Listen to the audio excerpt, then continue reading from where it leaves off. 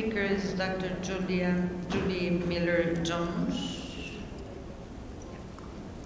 a board certified uh, nutrition specialist and licensed nutritionist, as a distinguished scholar and professor emeritus of nutrition in the Department of Family, Consumer, and Nutritional Science of the St. Catherine University in St. Paul, Minnesota.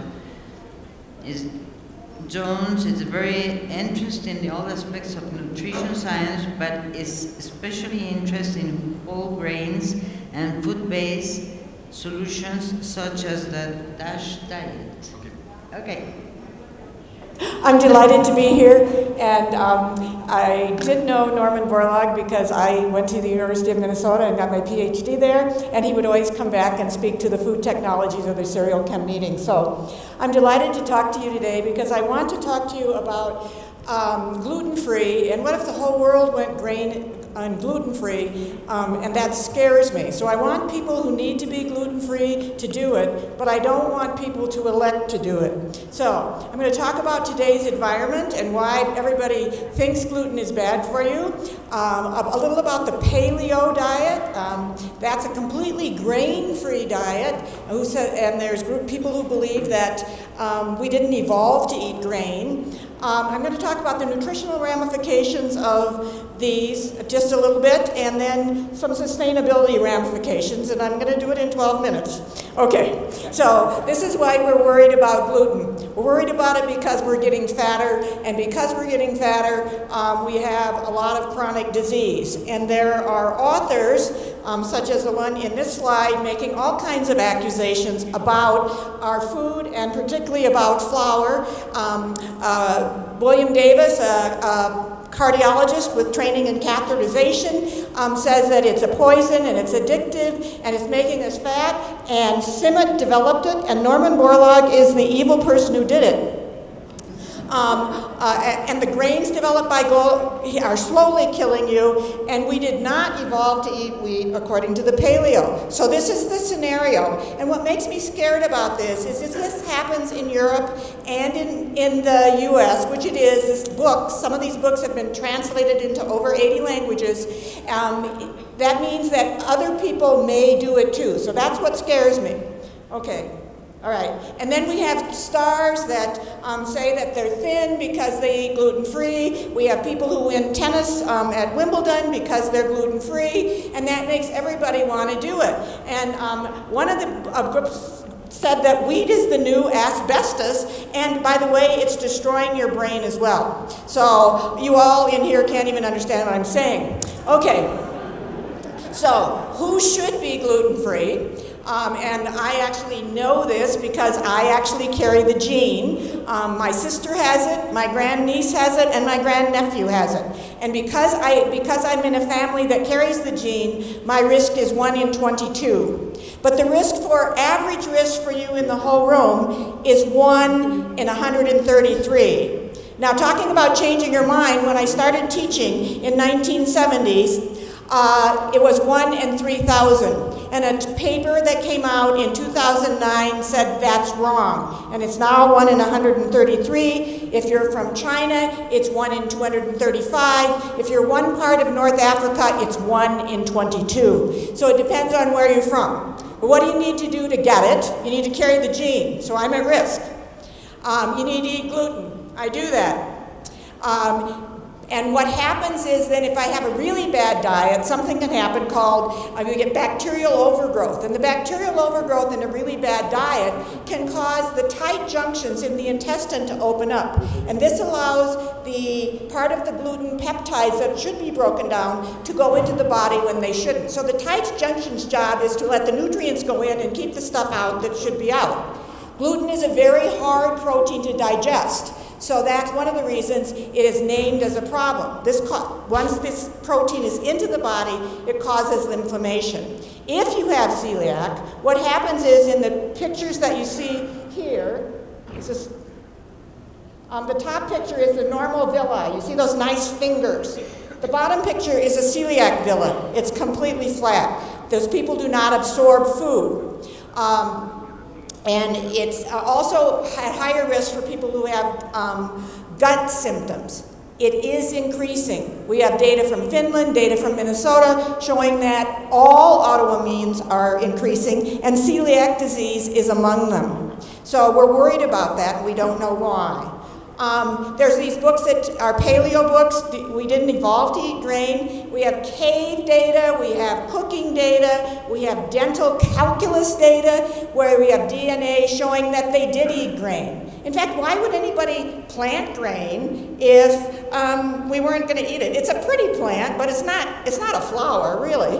Um, and so uh, people actually think that the eating of grain actually enabled the evolution of brain of the brain because we are the only primate species that has six copies of amylase and that um, that these carbohydrates staples they think actually allowed evolution. Okay now, most, while these books and many people in the population believe that carbohydrate is bad for you, this runs counter, but facts don't matter, I just learned, but it, um, it runs counter to uh, advice from nearly every dietary body that I can say, which wants you to have carbohydrate staples at the base of the pyramid and make up 45 to 65% of the diet. Whoops. Um, now I can't do this either here. Okay. Um, and, and, look, these are the Mexican dietary guidance and Indian, they all have a place for grain, but I could do one from all over the world. What is the problem? And the problem we have to address, and we have to stop picking on dietary things that are causing the problem. The problem is us. We are eating too many calories. These data from the United States show that in 1970 we ate around 2,000 calories. In 2008, these are disappearance data, it's 2,674 calories. We're eating more calories and we're eating more of everything. And it's not grain, it's not sugar, it's just plain too frickin' much. Um,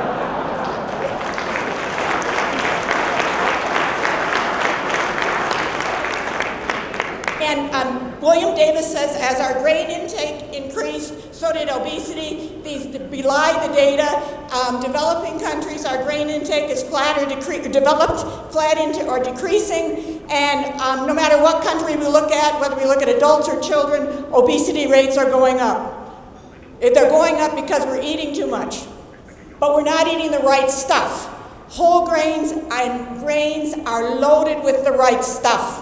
The Aleurone, I love it. That's really loaded with the right stuff. So um, we get B vitamins, we get um, fiber. That comes from grain. And we get all these wonderful phytochemicals that are in the outer layers of the grain. When we mill it, we lose about 15 to 35% of the phytonutrients. So that and we lose some of the um, other nutrients. But I will still argue that we need to follow the dietary guidance. And the dietary guidance says to make half your grains whole. And why? These are actual data on US populations, and we're the fattest, one of our dubious achievers. Okay, so um, what, what you see here, whoops, I thought I was hitting the pointer, but Anyway, this, the thing with the circle around, those people in the Framingham study, which was the big hard study in the United States, those people who made half their grains whole, they ate two servings of refined enriched grain and three servings of whole grain. They had the lowest visceral adipose. In men, I call it the descending chest. The lowest visceral adipose tissue, which is the one that's the most dangerous. If you look at whole grain intake eaters, they have lower risks of everything um, lower risk of diabetes, coronary disease, and I'm going to bore you with these, these numbers.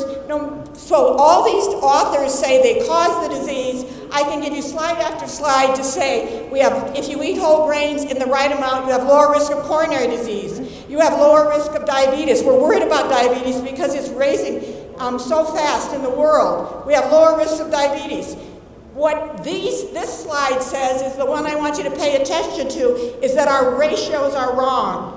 If you have uh, if you look at carbohydrate intake, that's not related to diabetes. Starch intake is, and the ratio of starch or carbohydrate to fiber. We're not eating enough fiber, and we're not eating enough whole grains, and that's the problem, rather than picking on carbohydrate or wheat per se. Cereal fiber is not the same as William Davis says in that it has, um, you can get all your fiber from fruits and vegetables. You can't. And so if you have celiac disease, you need to eat alternate grains. You need to eat amaranth, quinoa, because the cereal fiber does things that the other fiber doesn't do, and it lowers your risk of diabetes and overall um, death rate. Here's another one showing that cereal fiber is different from other fibers.